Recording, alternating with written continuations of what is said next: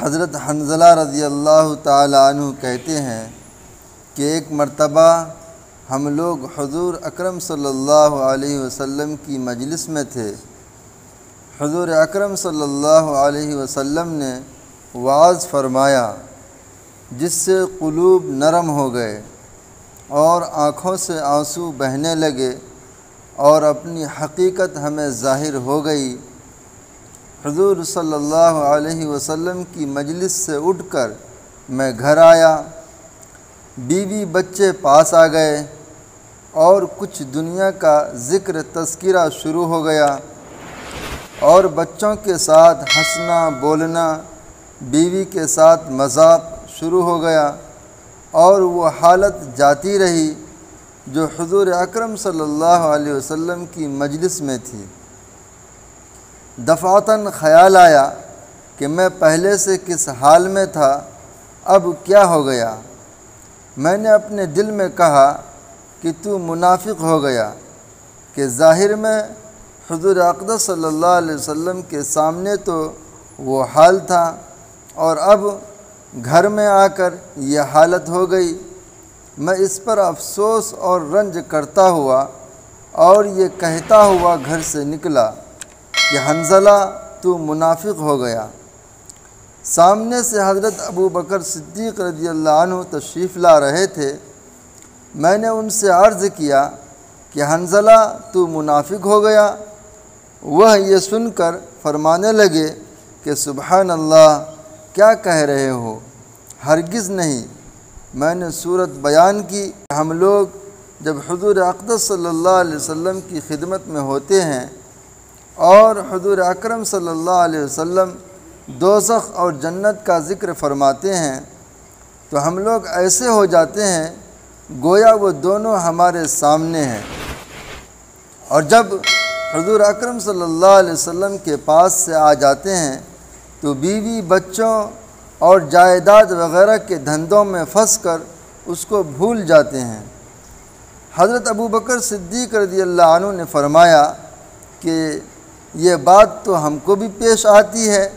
اس لیے دونوں حضور اکرم صلی اللہ علیہ وسلم کی خدمت میں حاضر ہوئے اور جا کر حنزلہ نے عرض کیا کہ یا رسول اللہ صلی اللہ علیہ وسلم، میں تو منافق ہو گیا۔ حضور اکرم صلی اللہ علیہ وسلم نے فرمایا، کیا بات ہوئی؟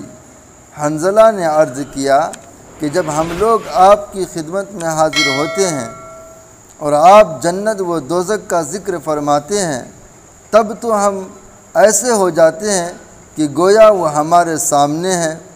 لیکن جب خدمت اقدس سے چلے جاتے ہیں، تو جا کر بیوی بچوں اور گھر باہر کے دھندوں میں لگ کر بھول جاتے ہیں۔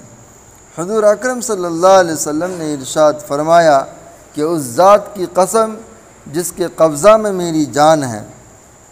اگر تمہارا ہر وقت وہی حال رہے جیسا میرے سامنے ہوتا ہے، تو فرشتے تمہارے بستروں پر اور راستوں میں مسافہ کرنے لگیں گے۔ لیکن حنزلہ بات یہ ہے کہ گاہے گاہے گاہے یعنی آدمی کے ساتھ انسانی ضروریتیں بھی لگی ہوئی ہے جن کو پورا کرنا بھی ضروری ہے۔ کھانا پینا، بیوی، بچے اور ان کی خیر خبر لینا، یہ بھی ضروری چیزیں ہیں۔ اس لیے اس قسم کے حالات کبھی کبھی حاصل ہوتے ہیں۔ نہ ہر وقت یہ حاصل ہوتے ہیں اور نہ اس کی امید رکھنا چاہیے۔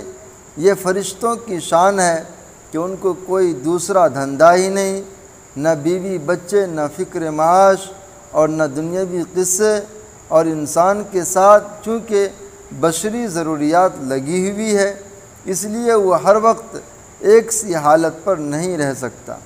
لیکن غور کی بات یہ ہے کہ صحابہ کرام رضی اللہ عنہ مجمعین کو اپنے دین کی کتنی فکر تھی کہ ذرا سی بات سے حضور اکرم صلی اللہ علیہ وسلم کے سامنے جو حالت ہماری ہوتی ہے، وہ بعد میں نہیں رہتی۔ اس سے اپنے منافق ہونے کا ان کو فکر ہو گیا۔ عشق است و ہزار بدگمانی۔ عشق جس سے ہوتا ہے، اس کے متعلق ہزار طرح کی بدگمانی اور فکر ہو جاتا ہے۔ بیٹے سے محبت ہو اور وہ کہیں سفر میں چلا جائے، پھر دیکھیے ہر وقت خیریت کی خبر کا فکر رہتا ہے۔ اور جو یہ بھی معلوم ہو جائے کہ وہاں تعاون ہے یا فساد ہو گیا، پھر خدا جانے کتنے خطوط اور تار پہنچیں گے۔